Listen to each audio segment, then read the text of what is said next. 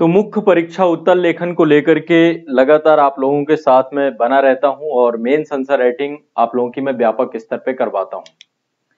तो सबसे पहले आज मैं आप लोगों को एक व्यवस्थित और व्यापक जानकारी दे रहा हूँ, जितने भी छात्र आईएएस और पीसीएस एग्ज़ाम की तैयारी कर रहे हैं। आप सभी के लिए समान अध्ययन की मुख्य परीक्षा उत्तर लेखन की एक श्रृंखला प्रारंभ कर रहा हूँ मैं, आज़ाद आईएएस एकेडमी के एप्लीकेशन पर, आज़ाद आईएएस एकेडमी के इस मंच पे।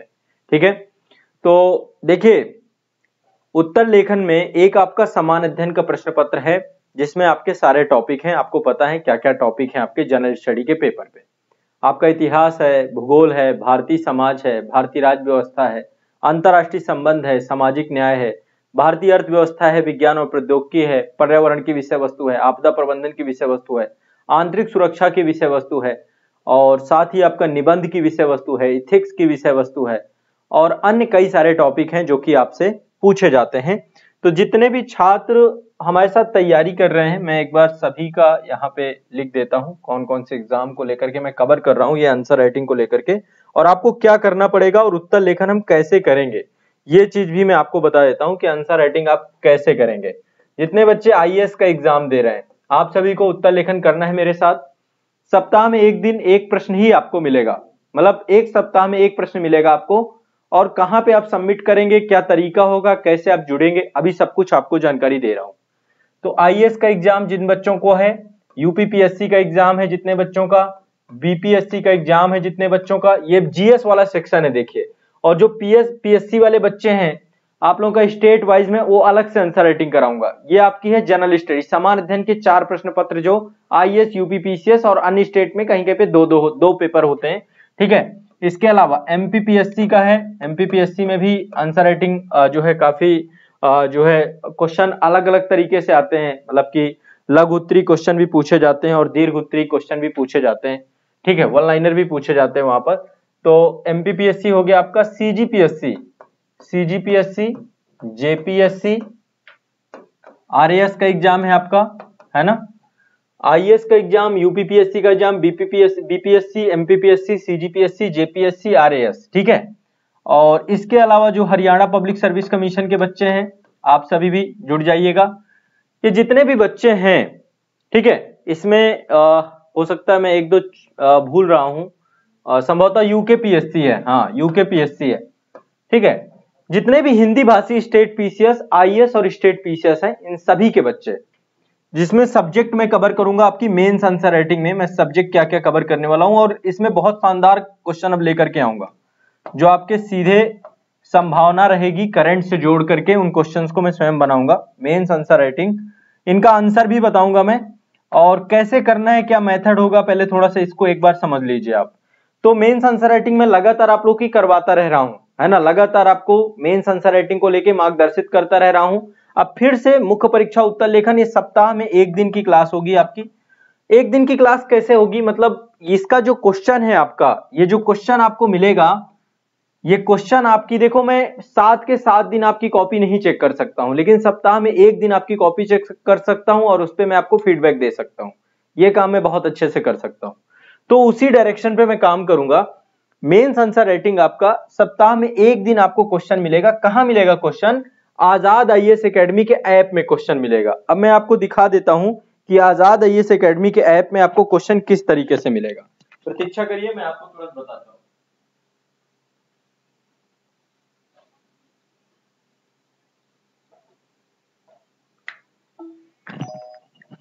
हाँ। तो आप लोगों को आज़ाद आईएएस अकेडमी के एप्लीकेशन पे क्वेश्चन मिलेगा। अभी सभी छात्र मेरे साथ करेंगे कार्य। सबसे पहले आप लोगों के पास ऐप होना चाहिए, आज़ाद आई एस अकेडमी का, गूगल प्ले स्टोर पे भी है। प्ले स्टोर पे एक है आपका। और साथ ही प्ले स्टोर से आप इसे डाउनलोड कर लेंगे। जो बच्चे एप्पल का फ़ोन यूज़ कर रहे हैं, आईओएस को डिवाइस यूज़ कर रहे हैं, आईओएस वाले सभी बच्चों के लिए हमने एक एप्लीकेशन बनवाया है। उसका नाम है माई इंस्टीट्यूट। My institute. आईयूएस वाले जितने बच्चे हैं, आप लोग माई इंस्टीट्यूट ऐप डाउनलोड करेंगे और वहाँ पे ओआरजी कोड मांगेगा आपसे। ओ कोड में आज़ाद आईए डालेंगे आप। आज़ाद आईए तो आज़ाद आई और अपना मोबाइल नंबर।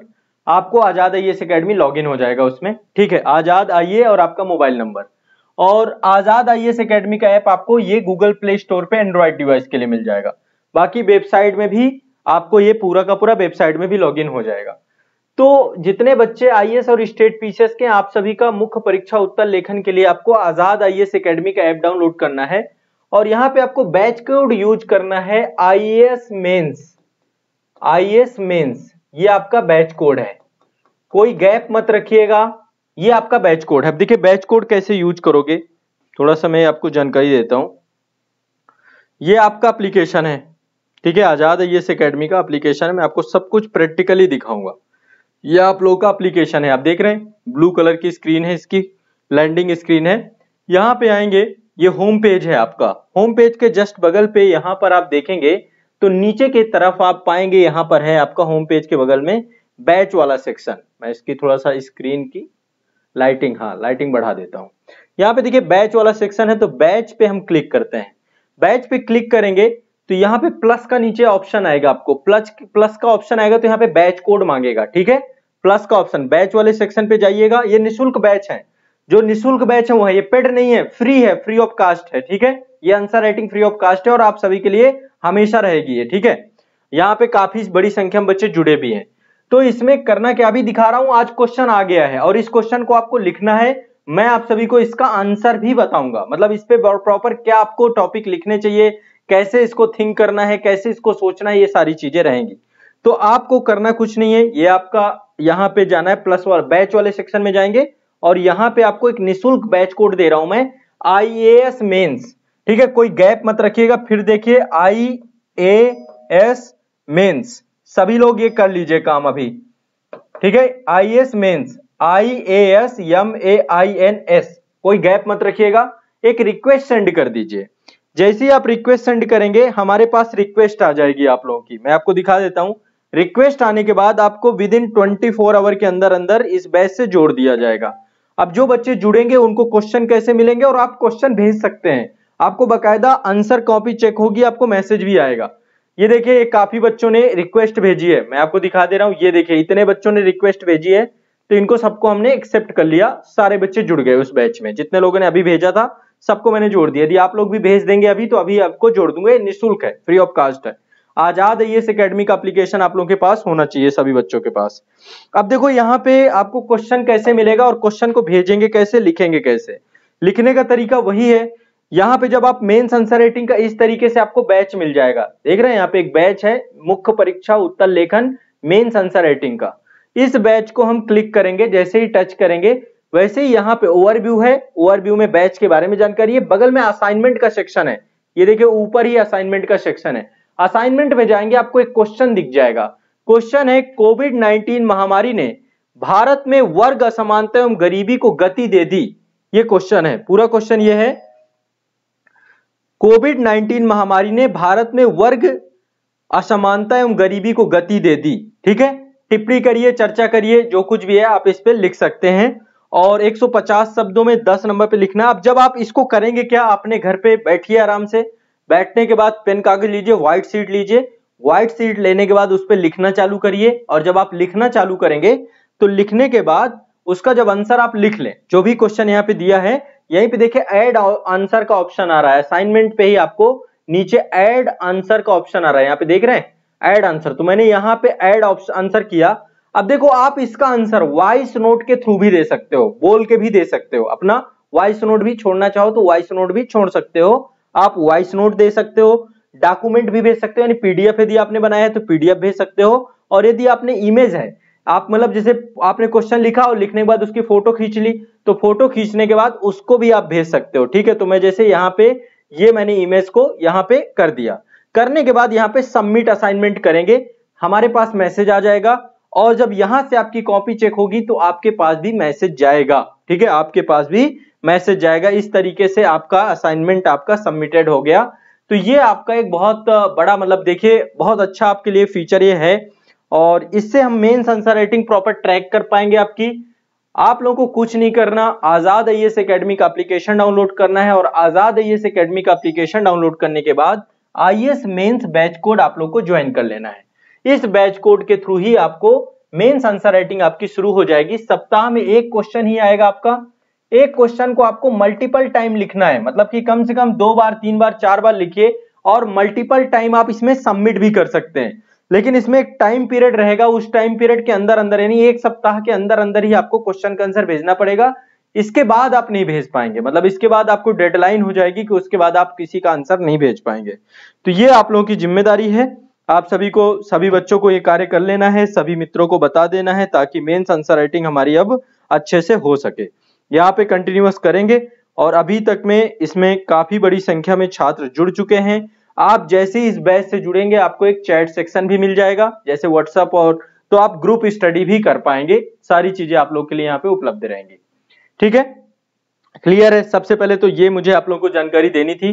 तो मेन आंसर राइटिंग के लिए हमारा आईएएस और स्टेट पीसीएस का मेन आंसर राइटिंग भी अब हम चालू कर रहे हैं साथ में। सप्ताह में एक दिन आपका आज़ाद आईएएस एकेडमी के प्लेटफॉर्म पे रहेगा। क्वेश्चन आपको ऑटोमेटिक आपके मोबाइल पे आ जाया करेगा। जब क्वेश्चन मैं यहाँ से भेजूँगा, आपको मैसेज आ जाएगा। मैसेज आ जाएगा या फिर आपके, आपको पता चल जाएगा। एक बार चेक करते रहेगा हर सप्ताह आपको मंडे को शाम तक आपके पास क्वेश्चन आ जाएगा।